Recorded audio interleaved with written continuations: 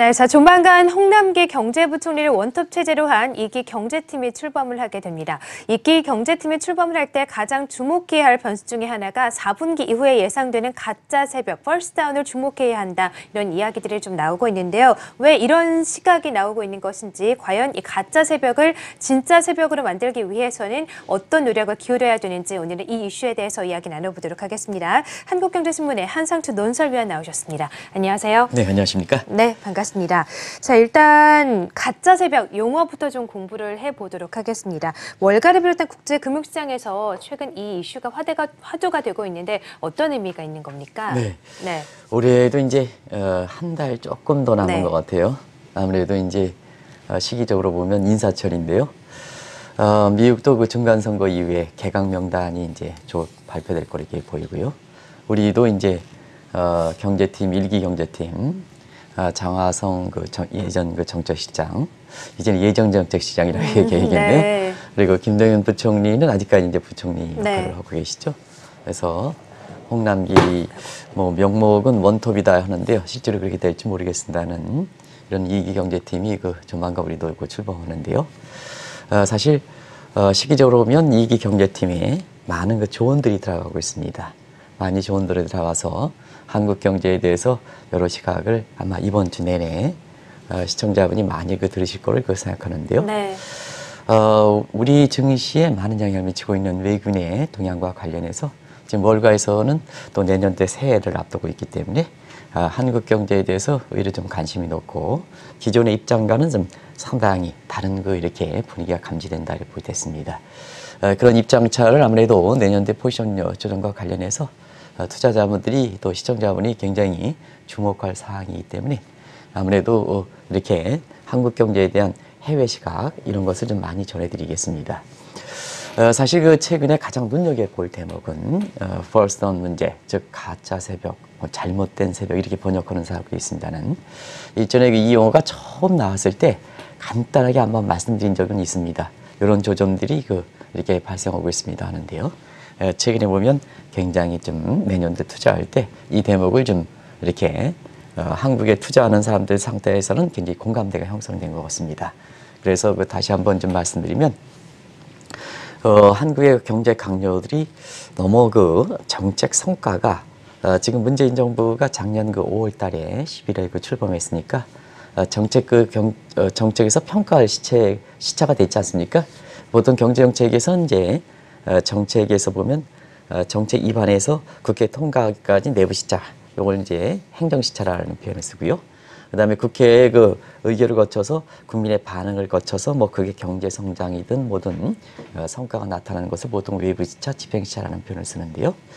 요 외부 시차와 내부 시차를 합쳐서 보통 1년 정도로 이렇게 본다면 어, 그 이후에는 어, 정책을 평가할 수 있는 이런 충분한 시기가 됐다고 이렇게 보여지거든요. 네. 그런 각도에서는 지금 현 정부가 출범한 지 한 1년 6개월 됐는데요. 뭐 시청자 여러분 굳이 평가 기준이 뭐 서로 다르다 하더라도 어, 정책 성과가 상당히 부진해서 어, 지금 궁지에 몰렸었고 이것이 일기 경제팀이 교체하는 가장 큰 배경이 됐다 이렇게 보겠습니다. 그럼 잘 아시겠습니다는 이런 그 가짜 새벽이라는 것은 너무 이게 목표에 이렇게 어, 몰려 있다 보니까 모든 수건을 통해서 모든 이제 어, 정책수단이 그렇습니까? 않습니까? 정책수단이라는 건 그만큼 여지가 있느냐, 그 다음에 효과가 나느냐 이런 걸좀 종합적으로 검토해서 이것이 신중한 정책을 그 추진해야 되는데요. 어, 모든 그 도- 수단을 동원해서 일단 뭐 이렇게 목표를 일시적으로 개선시켜 놓는다는 얘기입니다.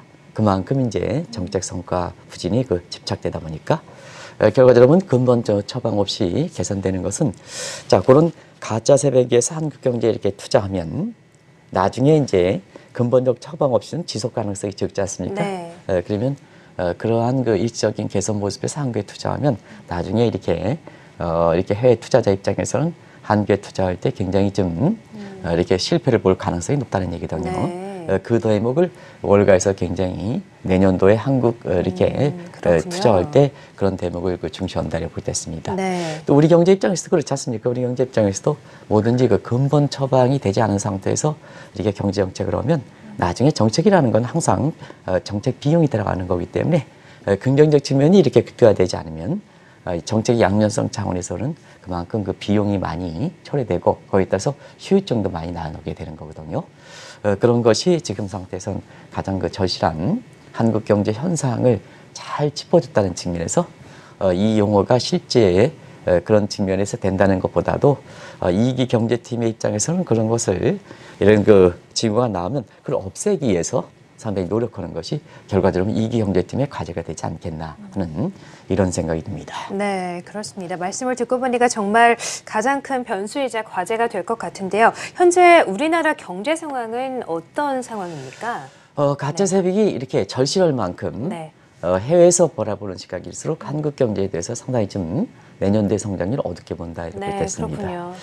뭐 시청자 여러분 지금 어, 예측의 시즌인데요. 어, 주로 우리나라 같은 경우는 성장률과 관련돼서는 비교적 좀 내년도 예측치가 많이 나오고요.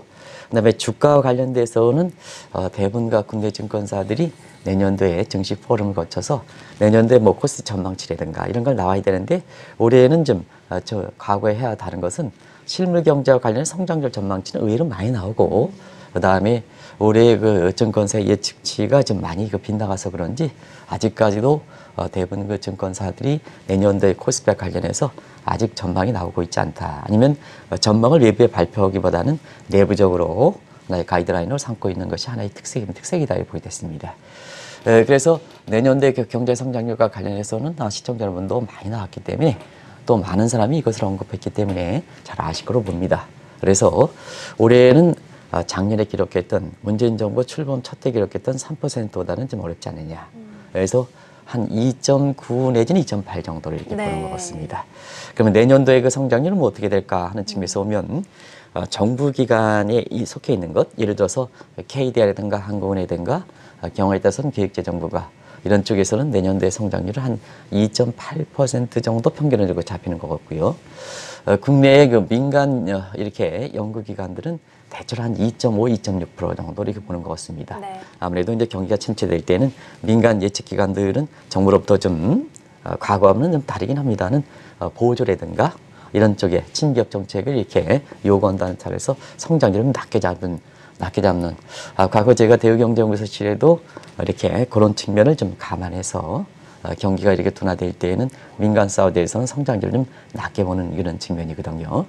그래서 우리나라 같은 경우는 이제 친정부 기관은 내년에 성장이 2.8%, 그 다음에 민간 사이드는 2.6%, 2.5% 이렇게 본다면 그러면 해외에서 어떻게 볼 것이냐 하는 측면에서 보면 어, 가장 그 객관성을 유지하고 있는 것이 아무래도 신용 등급 평가하는 기관이기 때문에 투자자한테 너무 부풀려서도 이렇게 전망하면 안 되고 너무 낮게 봐서는 안 된다는 얘기거든요. 왜냐하면 어, 투자에서 성공 여부, 실패 여부를 가이드하는 역할이기 때문에 어, 그래서 가장 중립적으로 보는 기관이 아마 무디스를 이렇게 보여지는데요.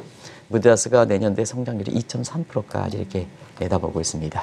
그래서 어제도 그 저녁 때 어, 제가 이렇게 어, 개인적으로 상당히 좀 인격적이라든가 어, 이런 측면에서 상당히 좀 존경하는 이런 금융사 CEO께서 어, 저한테 잠재 성장률이 얼마큼이냐 이렇게 물어봤었는데요. 한 저녁 한 7시 정도인가 이렇게 돼서 어, 추계하는 기관은 좀 다릅니다. 추계하는 기관에서. 근데 이제 어, 정부의 그 공식적인 특히 한국은행에서 공신력이 있으니까 어, 추계하는 잠재 성장률이 낮게 보면 2.8% 정도로 이렇게 본다면 어, 무디사가 이렇게 전망하는 거 보면 한 2.3% 보면 0.5%포인트의 디프레 갭이 발생한다. 이렇게 이제 보여지거든요. 그러면 한번 보겠습니다. 보통 이제 경기가 이렇게 갭이 발생하면 아, 자, 일단 고용 쇼크 되죠. 뭐 고용 쇼크 문제는 뭐 이렇게 시청자님이 너무나 잘 알기 때문에 제가 말씀드리지 않고요. 그 다음에 중산층이 이것이 하위계층으로 편입된다는 얘기입니다. 네. 그렇기 때문에 어, 현 정부의 그 양대 목표에 해당되는 네. 일자리 창출과 소득의 분배 문제, 분배 문제 이런 것이 더 악화될 가능성이 있다는 얘기거든요. 보니까 어, 사실 그 경제 강요들이 그만큼 중압감을 많이 미친다는 얘기입니다. 어, 그래서 우리 경제 지속적인 성장률 관련해서는 어, 지금 상태에서는 내년도에 성장률이 좀 떨어질 뿐만 아니라 네. 어, 그동안 어, 기업 정책에 있어서는 이 친기업 정책이냐 아니냐 뭐 이렇게 해서 어, 대기업이냐 중소기업이냐 이렇게 해서 어, 그 느끼는 정도는 다르긴 합니다는 어, 전체적으로 보면 이렇게 공동적인 평가는 기업에 대해서 좀, 어, 좀 비우호적인 정책을 취하지 않느냐. 제가 지금 상당히 이 용어는 좀 아주 신중하게 말씀드리는 겁니다. 어, 비우호적인 정책을 취하느냐. 그 다음에 대외적인 여건에서는 미중 간 마찰이라든가 이런 측면이 있었기 때문에 어, 결과적으로 보면 어, 그만큼 그 기업의 설비 투자가 이렇게 많이 되지는 않은 상태거든요. 네. 그 다음이니까 기업의 설비 투자는 뭐냐 하면 앞으로 전개될 수 있는 4차 산업이라든가 어, 미중 간 마찰 이후의 세계 경제 환경 다시 말하면 어, 10년 정도의 그 이렇게 장기 호양세가 지금은 꺾인다. 이렇게 오늘 한국경제신문에서도 어, 중국 경제가 꺾이는 문제, 심지어는 미국 경제가 꺾이는 문제 이렇게 이제 하는데요. 어떤 분 그런 얘기를 하시더라고요. 미국 경제가 어, 이렇게 올해 2분기에 4.2%에서 올해 3분기에 3.5% 기록했고 어, 4, 4분기에는 2.9%까지 3% 밑으로 된다면 이게 미국 경제가 어, 이렇게 호황이냐 침체냐 하는데 어, 성장률이 그 둔화되는 건 사실이거든요. 어, 그런 각도에서 보면 미국 경제도 올해 2분기가 정점이 되지 않겠냐 하는 측면에서 경제 사이클에서 비즈니스 사이클의 네 국면 중에서 보면 아무래도 표현상에서 보면 정도가 심하면 경제 침체 내지는 좀 완화시킨다는 경기 둔해지만 저는 성장률이 꺾이는 것은 사실이거든요. 어, 그런 측면에서 보면 우리 경제 입장에서는 지금 대외 환경이 이렇게 급변하는데 여기에 맞춰서 완충 역할을 하려면 미래 산업에 대해서 이렇게 어, 사실 그만큼 이렇게 충분히 그 대비가 돼 있어야 되는데요. 너무 그 단기적인 목표에 이렇게 치우치다 보고 또 대외적으로 이렇게 문제보다는 대내 문제, 어, 정부 당국에서 내놨던 정책 문제에 그 집착하다 보니까 이 미래에 대해서 우리 경제 지속 가능한 성장. 그래서 이 역할이 대외적으로 그 변수가 상당히 불안할 때 이걸 완충시킬 수 있는 충격을 고스란히 받는 게 아니라 완충시킬 수 있는 이런 근거가 되거든요. 이런 대목이 좀 준비는 부족하지 않았느냐 하는 측면에서 이후에도 한국 경제 지속 가능한 여부에 대해서는 굉장히 불투명한 시각이 많거든요. 네. 그래서 우리나라 같은 경우는 지금 이제 어, 경제 외연상 규모로 보면 어, 사실 그 선진국의 진퇴고 음. 올해는 네. 어찌 됐든 경제 성장률이 2.7% 2.8% 이렇게 되면 어, 원달 환율이 내 작년 수준에서 조금 더 올라갔다 하더라도 우리가 지난 10년 동안 갇혀있던 20K 50M 클럽, 요건 이제 20, 50 클럽이라 하는데요.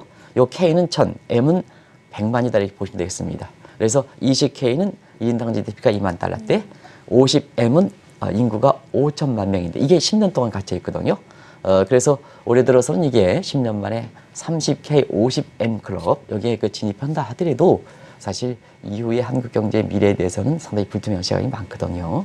그렇기 때문에 월가에서 보면 한국에 대해서 에, 투자의 기관에 따라서 여러 가지 시각이 제기되고 있는 이런 상황이다 이렇게 보이겠습니다. 네. 자, 그러면 이 월가를 비롯한 국제 금융 시장에서는 이 한국 경제, 우리나라 경제가 좀 비관론에 빠지지 않기 위해서는 어떤 정책을 써야 한다고 좀 권고를 하나요? 일단 두 가지 시각이 좀 네, 이렇게 필요하다. 네. 일단은 경기에 대해서 정확한 진단이 필요하다. 그리고 경기에 대해서 진단을 할 때도 어, 정책 목표만 이렇게 위주로 해서 경기 진단하면 안 된다는 얘기거든요. 일단 그 뭐든지 지난번에도 우리나라가 세계적으로 보면 위험성 규모가 세계 10위권에 도달했는데도 불구하고 어, 통계청 수장이 그 바뀌는 관계에서 어, 통계 조작 문제 이런 아, 얘기가. 나왔지 않지 네. 않습니까? 그래서 어, 경기를 진단할 때 보편적 관점, 국민의 관점에서 이렇게 경기를 진단할 필요가 있다. 어, 정책의 그 목표, 목표대로 목표에서 그것을 이렇게 어, 경기 진단하면 안 된다. 그- 그만큼 경제 현실을 왜곡할 가능성이 있다 이렇게 보겠습니다. 그래서 일단은 국민 경제 전체적인 차에서 목표과 관계없이 국민 전체에서 우리 경제에 대한 정확한 실상이 필요하다 하는 것을 이제 어, 이렇게 그 어, 먼저 권고하고 있고요. 이런 각도에서 한국의 그 지금의 국민 보편적 관점에서 이렇게 어, 어, 어, 경기를 진단한다면 지금 사이드에선 어, 우리가 총수요를 진작하는 정책, 예를 들어서 소비를 진작하고 투자를 진작하고 뭐 수출이야 뭐 대외 환경에 의존하겠습니다는 한국도 이제 예, 수출 진작책 이런 것이 있기 때문에 수출을 진작하는 이런 총수요 사이드에서 어, 지출하는 그, 어, 이렇게 진작시키는 정책과 함께 어, 사실 어, 우리 국민들에게 아주 위축됐던 어, 경제 그 의욕을 고취시키는 이런 정책이 동시에 필요하다는 얘기거든요. 네.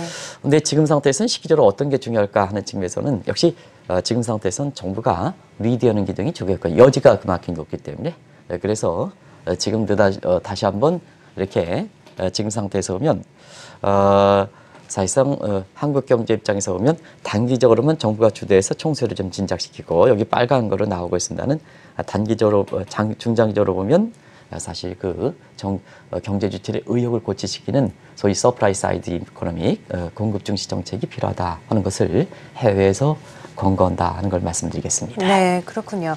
자, 그러면 총수요 진작책이 어떤 의미가 있는지 좀 궁금한데요. 어떤 의미가 있는 용어입니까? 네, 네. 보통 시장 경제 원리는 어, 경제 시스템이 제대로 작동해서 어, 사실 시장에 맡겨놓으면 어, 경제 주체들이 이기심에 의해서 어, 사실 그 이렇게 활동한다면 그것만큼 어, 경제에서 좋은 역할이 없지 않느냐 아, 이런 측면에서 보면 어, 시장 시스템에 맡겨놓을 거 이렇게 보는데요.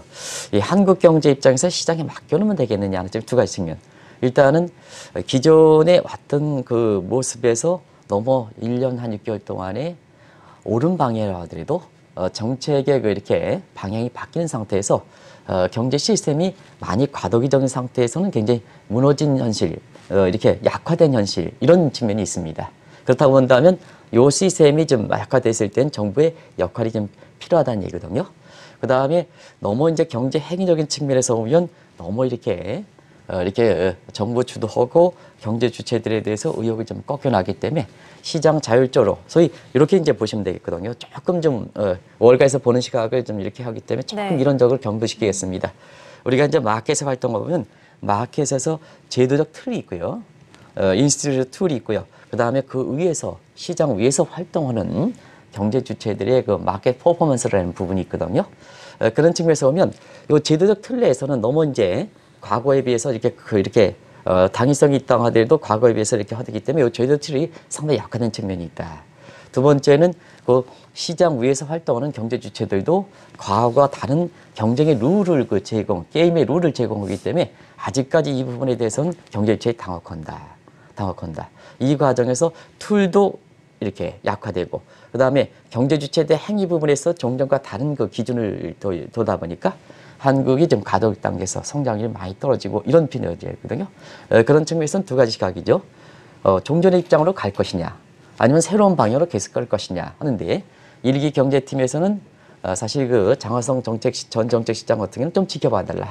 앞으로 좀 어, 새로운 그 틀에 내에서 이렇게 그 경제 성과를 나서 우리 경제 성장률이 올라갈 때는 좀 시간이 필요하다 하는데 너무 지금 단기적으로 너무 그 국민들의 경제 에, 경제가 좀 많이 침체되다 보니까 에, 결과적으로 새로운 그 경제 시장들이 좀 이렇게 등장하게 된 배경이거든요. 에, 그런 각도에서 보면 요 과도기적인 측면에서 틀이 좀 약화되고 그 다음에 게임의 룰이 바뀌는 과정에서 경제 주체에 당혹해야 할 때는 역시 그때는 어, 정부가 그 개입할 수밖에 없는 이런 상황이거든요. 이것이 시청자 여러분 잘 아시겠으면은 뉴딜 정책이다 이렇게 됐습니다. 근데 우리는 이제 다행히 지금 상태에서 재정이 좀 여유가 있지 않습니까? 어, 경제 주체들에서 보면 어, 개인이 있고 기업이 있고 금융사는 뭐 어, 기업의 배인간이고 어, 동맹 역할을 하고 어, 정부 주체를 본다면 지금은 우리 입장에서 보면 정부 주체들이 어, 정부 주체가 가장 여유가 있는 상태거든요. 어, 왜 그러냐면 우리 국가 채무는 GDP 대비해서 한 40% 내외 이렇게 본다면 어, 한국에 속해 있는 신흥국 같은 경우에는 어, 위험 수준이 70%이기 때문에 아직도 대외적으로 보면 재정이 여유가 있다 이렇게 얘기하거든요. 그래서 이 재정을 그 지출이 필요한데요. 이 재정 지출이 필요할 때 항상 좀 말씀드리면 어, 소득주도 소득주도 이 성장에 재정 지출하면 안 되는 겁니다. 지금은 그래서 분배 틀 속에 이렇게 흘러 들어가지 재정 지출이 흘러가지 말고 어, 경기 부양 효과가 큰 소위 허스면에 얘기하는 전후방 관련 효과가 큰 어, 소위 어, 투자성 경비 쪽으로 투자성 항목 쪽으로 네. 이렇게 많이 들어갈 필요가 있다는 얘기입니다. 예를 들어서 뭐 도로라든가 철도라든가 항만이라든가 이런 쪽에 이런 쪽에 내지는 어, 고용 창출 개수가 높은 제조업 쪽에 이렇게 어, 경제에서 보면 마중물이 될 수 있게끔 이렇게 뿜어줘야 될 필요가 있다는 얘기거든요. 어, 그래서 재정 지출, 재정 지출은 어, 현 정부 단계에서 많이 얘기합니다는 이게 경기 부양 효과가 적은 분배 쪽으로 이게 자금이 들어간다는 얘기거든요.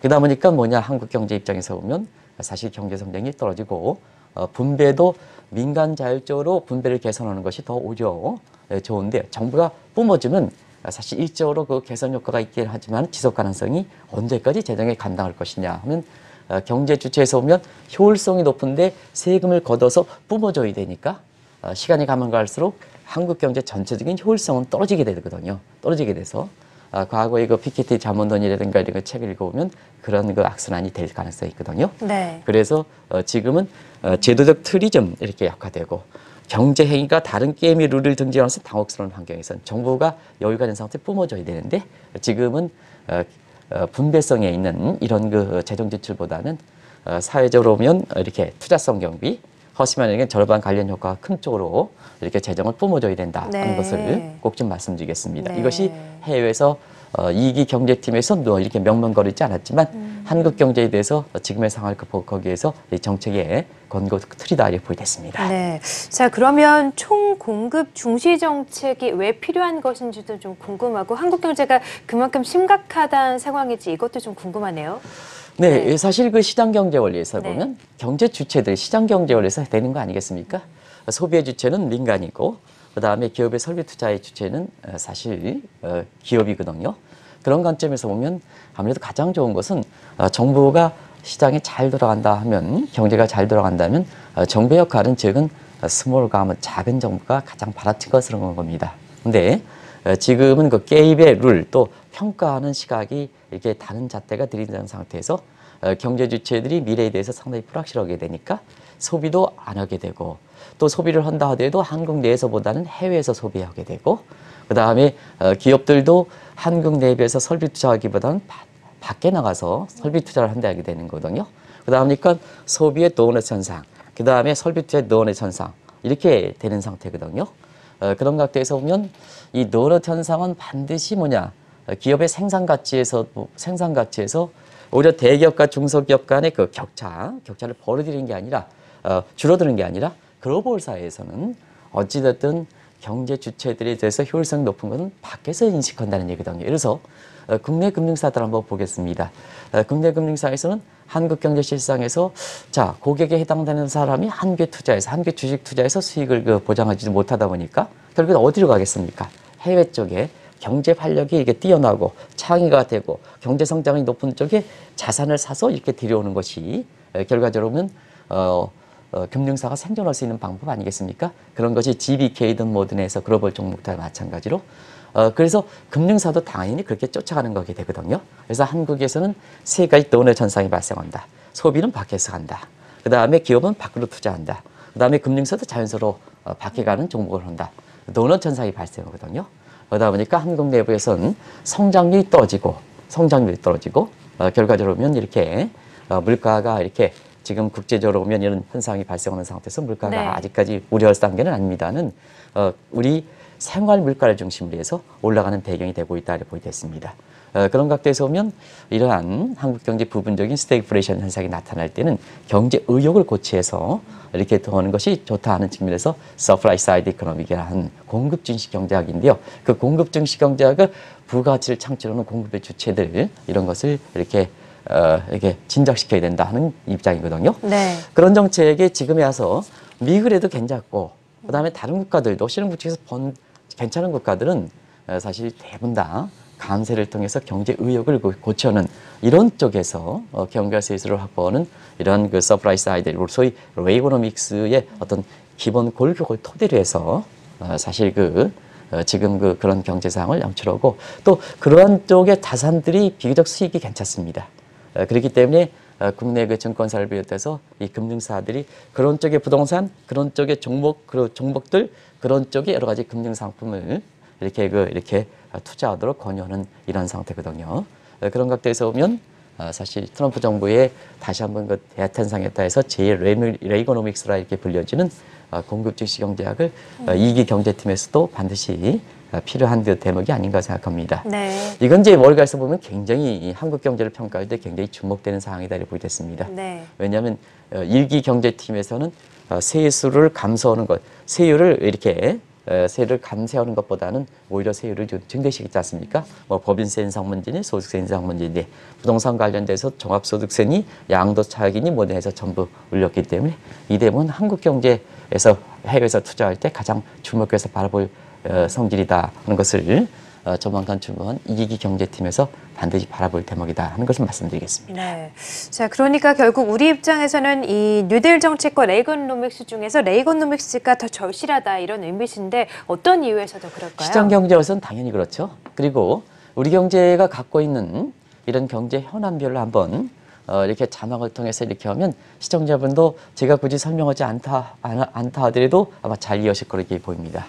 그래서 일단은 그 한국 경제의 그 진단과 처방을 놓고는 정책 단계에서 소위 고용 창출이라든가 아니면 분배를 강조하는 어, 정책 단계에서 경제에 이렇게 어, 진단하는 방법과 여기에 맞춰 처방하는 방법 또 민간에서 이렇게 경기를 진단하고 처방을 권고하는 방법 이 방법에 굉장히 갈등이 심하죠. 이건 뭐 어, 굳이 말씀드리지 않겠습니다. 그리고 또 한 가지는 우리 경제 입장에서는 지금 유동성 함정에 처해 있느냐 또 여기에 여기와는 또 다른 각도에서 어, 대외적으로 보면은 어, 미국과의 금리 영장 관계로 해서 어, 사실 또 일부 지역의 수도권의 집값 잠수 문제로 인해서 어, 사실 유동성 함정 논쟁과 함께 또 하나 통화 정책에서 이렇게 되는 게 경우에 따라서는 성질이 이렇게 어, 반대 성질을 갖고 있는 또 금리 인상 논쟁이 있단 말이에요. 그러면 시청자 여러분 유동성 함정 문제라는 것은 금리를 올리더라도 그렇게 효과가 없는 상태에서 여기 다른 한편에서는 다른 목적에서 금리 인상 논쟁이 있는 것이 지금의 한국의 통화 정책과 관련해서 한국에게 지금 오도 가지도 못하는 이런 상황이 이렇게 만취를 낸다 이렇게 보이됐습니다. 그리고 너무 그 강성 노조이기 이 전편이 이렇게 적당할지 모르겠습니다. 어, 저는 이 표현이 이제 해외에서 한국의 이렇게 노조를 볼 때는 강성 우위의 노조 이렇게 이제 얘기하거든요. 이건 이제 개인, 개인적인 견해는 아니다는 걸 말씀드리겠습니다. 그다음 보니까 이부 임금이 가장 하방 경직자리라는 얘기거든요. 어, 지금 미국 사회에서 이렇게 보면 노조라는 얘기가 그렇게 많이 안 나오거든요. 그래서 경기가 이렇게 보다 보니까 경기가 좋을 때는 임금이 확 올라가더라도 경기가 떨어질 때 임금을 확 낮춘다 이렇게 보게 됐습니다. 이런 각도인데 우리가 이제 세계적으로 보면 한국이 좀 노조가 좀 세다 보니까 이게 임금이 올라갈 때는 올라가고 내려갈 때는 좀 이렇게 경기를 풀어낼 수 있는 그만큼 뭐냐 또 이렇게 근로자들이 좀 양보해서 어, 사실상 이렇게 임금이 좀 내려줘야 되는데 이게 안 내려준다 안 내려준다 어, 그리고 어, 이런 어, 국면이 되다 보니까 시청자 여러분 아시겠지만 두 가지 측면에서 보면 자 이렇게 보면 어, 수요는 증가하지 않는다. 경기 침체로 나타나는데 비용적인 측면에서는 임금은 떨어지지 않으니까 어, 스태그플레이션 현상이 나타나는 거죠. 이런 각도에서 어, 지금은 한편으로 보면 우리 경제 입장에서는 1990년대 총수요가 부족한 케인즈적인 상황이 예표서고 다른 측면에서는 1980년대에 경제 주체들이 효율이 떨어진다는 측면, 의욕이 떨어진다는 측면에서는 또 1980년대 같은 어, 레이고노믹스에 그 필요한 이런 그 경제 정책이 표만 혼재된 상태 이렇게 이제 보여지거든요. 네. 이런 각도에서 전부 뭐냐 정부가 이렇게 이런 각도에서 좀 이렇게 주도를 해야 되는데 모든 면에서 제도 틀을 빨리빨리 변경한다는 얘기입니다. 제도 틀을 빨리 변경하니까. 자 우리가 보면 어, 경기가 좀 내가 여유가 있을 때는 사실 뭐냐 어, 이렇게 정부의 그 제도 틀이라든가 기업에 있어서는 뭐 인사 문제라든가 뭔가 이런 것을 좀 아주 내가 여유가 있으니까 그걸 받아들이고 그 당위성을 인정하고 거기서 박수를 칩니다는 내가 여유를 없을 때는 내가 준비가 되지 않았을 때는 에, 사실 정부가 아무리 좋은 방향을 간다 하더라도 저게 내 생활에 있어서 미래가 불확실하니까 어떻게 정복시킬 것인가. 그 다음에 한 기업에서 인사 문제가 이렇게 됐을 때 내가 여유가 없을 때는 그걸 뭐냐. 아, 받아들일 수 있는 여유가 없는 상태거든요. 에, 그런 것이 결부가 돼서 어, 지금 상황이다 보니까 시청자 여러분도 야, 서로 상반된계가 있는 총수요 관계라든가 총공급 정책을 왜 해외에서 동시에 권유하느냐, 권유하느냐. 바로 이런 대목 때문에 그렇다 이렇게 이제 보시면 됐습니다. 네, 그래서. 일전에 한번 말씀드렸듯이 이런 대목을 풀어갈 때는 경제 주체들도 많은 이렇게 양보를 해야 된다. 그래서 어, 기업이 살아갈 때는 오너 역할도 중요하겠습니다. 어, 근로자들이 뭐냐 어려울 때는 수용해 주는 것도 이게 보면 그 기업에 대해서 어떻게 보면 책임을 다하는 문제거든요. 어, 그런 각도에서 이렇게 우리 입장에서 보면 이 보수와 진보 그 다음에 국민들 입장에서 어느 계층에 속해 있느냐에 따라서 서로가 제 목소리를 내다보고 또 최근에 이렇게 여러 가지 인터넷에서 화제가 되고 주말에 화제가 됐습니다는 이게 뭐 국민의 선출직에 있어서 굉장히 국민의 가이드 역할을 하는 사람들도 굉장히 뭐냐 혼탁한 저는 그렇습니다. 거짓말하는 그 자체가 자체가 발생하는 진위 여부를 떠나서 그 자체가 문제가 되는 거다 이렇게 됐습니다. 어떻게 이렇게 어, 지금 상태에선 차기 대권을 꿈꾸고 이런 사람들이 그런 논란이 있겠습니까? 그런 상당히 그 진위 여부를 떠서 잘못된 거다는 걸 말씀드립니다. 그런 것이 혼탁한 상황, 리드 기능을 하다 보니, 보다 보니까 지금 한국 경제가 이런 상황이 아닌가 생각합니다. 네. 그래서 한국 경제가 내년도에 투자를 앞두고 지금 대목에서는 굉장히 한국 경제를 그 펄스타운이다 이런 식으로 해서 굉장히 주목해서 본다 이렇게 됐습니다. 네. 자, 상황이 이렇다 보니까 이 현 정부의 성장 정책이 기본적으로 설계가 잘못됐다. 좀 이런 분석도 나오던데 어떻게 보십니까? 네. 네. 현 정부의 정책은 두 가지가 있죠. 하나는 어, 총수요 사이드에서는 이제 이걸 총수요 사이드냐 총급자 이것도 자체가 논란이 있습니다. 어, 정책을 누가 주도하느냐 이걸 받아들이냐 할때 대체로면 제3의 입장에서는 해외에서 보면 어, 초소득 주도 성장은 어, 총수요 진정책이다 이렇게 보는 거고요. 그 다음에 혁신 성장 대부분 공급이다 이렇게 이제 공급 중시 기업을 중시하는 정책이다 이렇게 됐습니다. 그래서 어, 개인적으로 보면 소득 주도는 분명히 당위성을 갖고 있습니다. 어, 저희들도 이렇게 어, 독일의 그 사회주의 경제학이다 해서 이렇게 어, 거기에 그 정통하신 어, 보금 대학에서 공부하시고 이제 저희들이 그, 그, 그 유명하신 그 교수님 통해서 배웠습니다. 상당히 당위성을 갖고 있습니다. 근데 갑작스럽게 변경하는 상태에서 보면 그만큼 혼란을 초래할 수 있다는 대목이고 어, 경제 정책이라는 것은 어, 그날 그때 그때 국민주도 경제 생활을 좀 안정시키는 게 목적이기 때문에 어, 장하승 실장이 잘못됐다는 게 아닙니다. 전 실장이 소득주의 성장은 당위성을 갖다 하더라도 너무 확 변하다 보니까 어, 국민들 입장에서는 경제가 침체되면 그걸 고집하는 게 좋은 게냐 아니면 유연하게 가져가는 게 좋은 거냐 하는 입장이거든요. 어, 그래서 이 부분에 대해서 논란이 좀 어, 어느 정도 좀 정리가 돼야지 정책이 추진하는 거거든요. 그래서 이 대목은 좀 이기 경제팀에서는 너무 이게 소득주도 성장이 나 잘못된 게 아니다. 너무 집착할 필요는 없다 하는 걸 말씀드리겠습니다.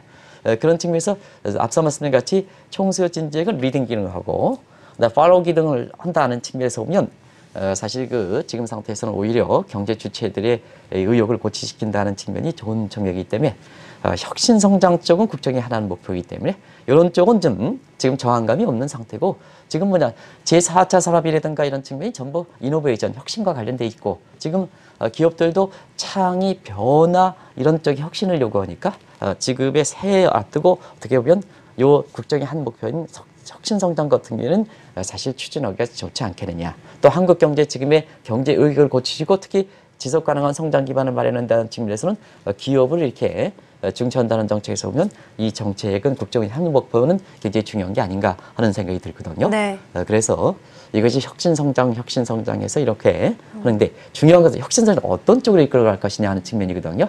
그래서 정부가 자원 배분을 인위적으로 주도하는 것보다는 사실 어, 시장에 말려서 예를 들어서 미국이라든가 이런 것처럼 시장에 원리에서 이윤 동기에서 그러다 보니까 이 법인세라든가 소득세 같은 이런 것을 너무 가득하게 해서 의욕을 꺾이면 안 된다. 왜냐하면 의욕을 꺾이면 동일한 사항에 대해서도 사실 그 어, 경제 수용증들이 반응하는 정도가 굉장히 낮다는 얘기거든요.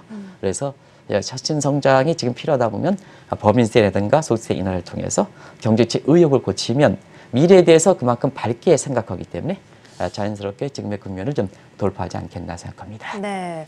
자, 그러면 앞으로 우리 경제팀이 이제 가짜 새벽론을 좀 불식시키고 진짜 새벽을 만들기 위해서 일기 경제팀이 어떤 일을 해나가야 할까요? 네, 지난번 이제 한번 말씀드려서 네. 그냥 자막을 통해서 시간도 다 됐고 해가지고 그냥 자막을 통해서만 이제 제목만 말씀드리겠습니다.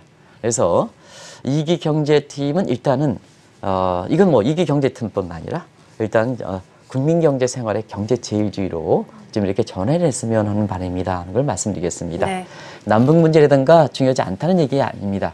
결국 남북 문제도 우리 경기가 좀 받쳐줘야 어, 국민의 공감대 속에 박수를 치면서 어, 남북 경협이든 남북 통일로 가는 거 아니겠습니까? 그래서 어, 경제 제일주의를 다시 한번 좀 지금 시점에서는 절실한 만큼 어, 표방하면 되지 않냐 생각합니다. 그래서 어, 최고 통수권자 입을 통해서 경제 얘기가 좀 많이 나오고 어, 이렇게 이런 가족이 좀한 개 분위기 쇄신 차원에선 어, 중요하지 않냐 생각합니다. 그리고 이기 경제팀 같은 경우에는 지금은 우리 내부 문제에 집착할 필요가 없다. 이전에 한번 말씀드려서 어, 시청자분도 상당히 공감을 하신 것 같습니다. 아, 또 어, 그 한국경제TV 대표께서도 어, 그 대목을 얘기한 것이 가장 중요한 것 같다 하는 얘기를 했는데요. 어, 지금 한국 경제 운명이 어, 대부분 미중 간 마찰이든가 이런 측면, 소득주도 성장, 뭐 주호시가 이것보다도 더 큰 것이 미중 마찰이니까 이런 때문에 지금 이렇게 경제 정책의 우선순위가 이런 쪽에 맞춰야 되지 않느냐 이렇게 이제 보여지거든요. 네. 큰 그림에서 이런 것을 토대로 해서 어, 세부적인 세부적인 문제는 예를 들어서 뭐 경제 활력 과제라든가 그다음에 경제 잠재 성장 과제라든가 다시 한번 박 PD 어, 뒤쪽 화면을 좀 보여주시겠습니다. 시간 관계에서 여기서 줄이겠습니다. 민생 경제라든가 대외 정책이라든가 남북 협력이라든가 정책 운영 이런 어, 소위 어, 정책 우선순위 바뀌느냐에 따라서 이러한 세부적인 어, 중, 어, 대 정책 과제, 경기 부양 과제를 통해서 여기에 그 까만, 까만 글을 썼습니다는 네. 이렇게 이런 그 정책 수단을 통해서 이렇게 한국 경제가 다시 한번 이렇게 어, 지금의 그 펄사운에 대한 어떤 우려를 좀 아, 잠식하고 내년부터는 정말로 우리 국민이 모두가 잘 사는 한국 경제 현상이 돼야 지금부터 외국 자본이 한국에 들어올 수 있고 그래 그걸 통해서 사실 한국이 선순환 구조가 되는 거거든요. 어, 그런 측면이 그런 측면이 해서 바라보는 것 같습니다. 그것을 이기 경제 팀 출범에 앞서서 또 내년도 출범해서 한국 경제 주문한 사항이다 이렇게 보시면 되겠습니다. 네, 알겠습니다.